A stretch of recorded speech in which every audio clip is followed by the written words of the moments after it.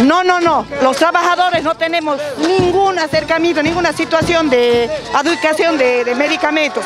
Eso lo hacen las autoridades.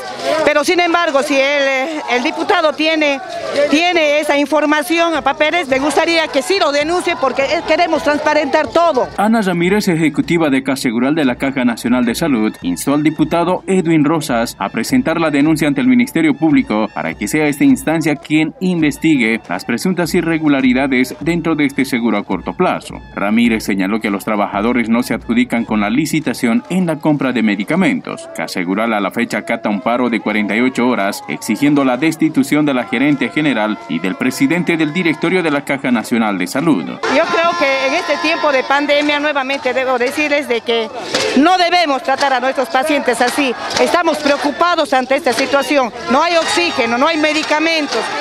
Y bueno, y lamentable lo que está ocurriendo con esta caja. Queremos nosotros salvar a la caja. Adrián Condori, secretario de Organización de Segural, señaló que la designación de los administradores regionales de la Caja Nacional de Salud es tuición de la gerente general de este seguro a corto plazo. Condori señaló que los administradores regionales renunciaron por incapacidad y lamentó que estos no hayan ejecutado los recursos designados a Tarija. La gerente general corresponde y pertenece al movimiento socialismo.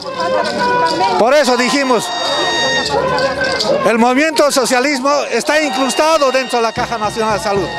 Por eso hoy manifestamos, parece que el movimiento socialismo tiene la intención de liquidar a la Caja Nacional de Salud. Ante las denuncias vertidas por el propio presidente del directorio de la Caja Nacional de Salud, Unitel Tarija llegó hasta el Ministerio Público en la ciudad de Tarija, con el fin de conocer si esta instancia va a iniciar una investigación de oficio a estas denuncias en lo que conlleva la escasez de medicamentos, donde aparentemente trabajadores harían caer la licitación de la compra de medicamentos, pero lamentablemente este medio de comunicación una vez más no fue atendido por el fiscal departamental.